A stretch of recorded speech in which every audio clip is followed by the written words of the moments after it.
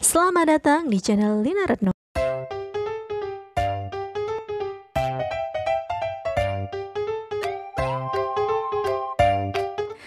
Assalamualaikum warahmatullahi wabarakatuh Anak-anakku tercinta Bagaimana kabar kalian hari ini? Semoga kita semua senantiasa dalam lindungan Allah subhanahu wa ta'ala.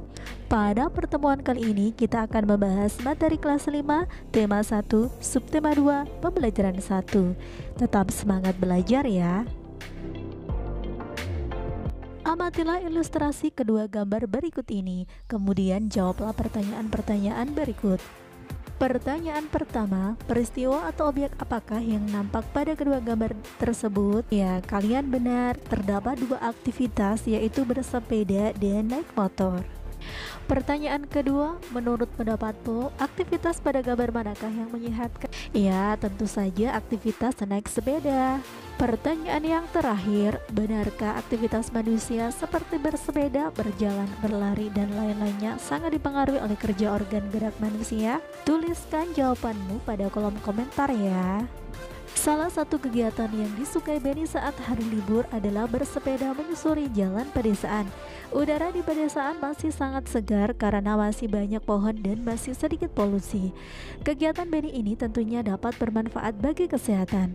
Dengan bersepeda rutin, semua organ gerak yang ada di tubuh dapat bekerja sebagaimana mestinya. Coba perhatikan, pernahkah badanmu terasa pegal dan kaku setelah duduk diam beberapa saat? Iya, karena pada saat duduk diam dalam waktu yang lama, organ-organ gerak pada tubuh tidak bekerja sebagaimana mestinya. Setelah mengayuh sepedanya beberapa saat, tibalah Benny di sebuah kebun sayur. Benny senang sekali.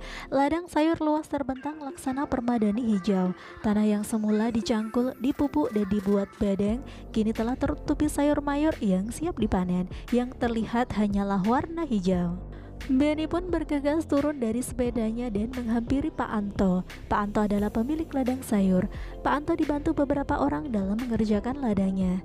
Selamat pagi Pak Anto, sedang sibuk ya Pak? Sapa Benny Rama. Selamat pagi Benny. Iya Benny, Bapak sedang memanen sawi dan selada. Jawab Pak Anto. Bolehkah saya membantu Pak? Pinta Benny. Oh, tentu saja boleh. Kebetulan sekali ada satu karyawan Bapak yang sedang sakit. Jadi Bapak masih kekurangan orang untuk memanen semua sayur ini. Jawab Pak Anto. Sekarang bacalah teks berikut ini. Bersepeda. Bersepeda merupakan kegiatan yang menyenangkan sekaligus menyehatkan. Sepeda bisa dikatakan sebagai alat transportasi darat yang murah, praktis, dan mudah dikendarai. Banyak yang memanfaatkan sepeda untuk pergi ke kantor, sekolah pasar, dan lain-lain.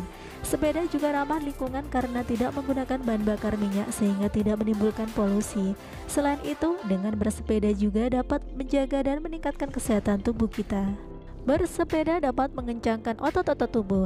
Bersepeda tidak hanya melibatkan bagian kaki saja, bahkan banyak orang yang menganggap bersepeda hanya dapat mengencangkan otot-otot bagian betis dan paha saja. Namun sebenarnya bersepeda merupakan latihan fisik yang hampir melibatkan setiap bagian tubuh. Selain memperkuat otot-otot bagian kaki dan paha, bersepeda secara rutin juga akan mengencangkan otot-otot bagian belakang, pinggul, dan lengan. Jika bersepeda secara rutin, kesehatan jantung kita akan tetap terjaga. Selama bersepeda, jantung berdetak lebih cepat dari biasanya. Efek positif terhadap jantung ini tentunya juga akan membawa efek-efek positif lainnya seperti melancarkan peredaran darah dan oksigen.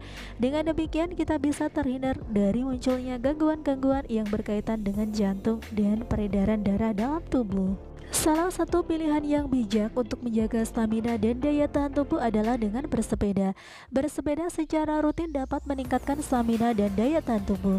Hal ini akan membuat kamu selalu bugar dan berenergi setiap harinya. Bersepeda juga merupakan olahraga yang dapat membakar kalori dalam tubuh. Oleh karena itu, bersepeda dapat menurunkan berat badan. Timbunan lemak-lemak dalam tubuh kita yang menyebabkan kegemukan akan terbakar dan lambat laun akan hilang. Tubuh kita pun akan kembali menjadi ideal. Oleh karena bisa membakar kalori dalam tubuh, maka bersepeda juga dapat menurunkan resiko terkena penyakit diabetes. Penyakit diabetes disebabkan oleh tingginya kadar gula dalam darah. Kadar gula dalam darah bisa tinggi karena gula atau glukosa yang kita konsumsi setiap hari dalam tubuh kita berubah menjadi kalori dan tidak mampu kita ubah menjadi energi. Timbunan kalori tersebut akan memicu meningkatnya kadar gula dalam darah. Adapun penyakit diabetes sendiri bisa menjadi penyebab munculnya penyakit-penyakit lainnya seperti jantung, stroke, kulit, mata, ginjal, dan penyakit lainnya. Manfaat bersepeda lainnya adalah mengurangi stres. Seperti yang telah dijelaskan di atas bahwa bersepeda merupakan kegiatan olahraga yang menyenangkan. Bersepeda memberikan hiburan tersendiri bagi kita. Pada waktu pagi dan sore hari untuk bersepeda sambil melihat-lihat indahnya pemandangan dan suasana sekitar cukup efektif untuk mengurangi stres. Setelah membaca bacaan tersebut, tentukan ide pokoknya. Masih ingatkah kamu apa itu ide pokok? Ide pokok atau yang disebut dengan gagasan utama adalah ide yang disampaikan oleh penulis menjadi suatu pokok pembahasan dalam sebuah paragraf. Pada paragraf pertama yang menjadi ide pokoknya adalah bersepeda merupakan kegiatan yang menyenangkan sekaligus menyehatkan. Ya, ide pokoknya ada di awal paragraf. Sekarang tugas kalian adalah menentukan ide pokok pada paragraf 2 hingga 7.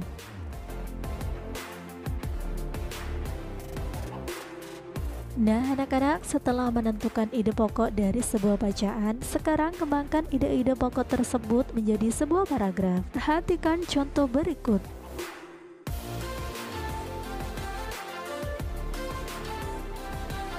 Nah, sekarang giliranmu untuk mengembangkan ide pokok sebagai berikut.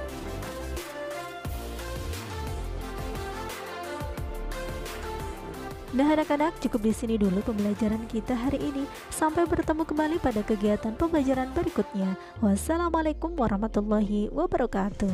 Terima kasih telah belajar di channel Dina Retno. Jangan lupa subscribe.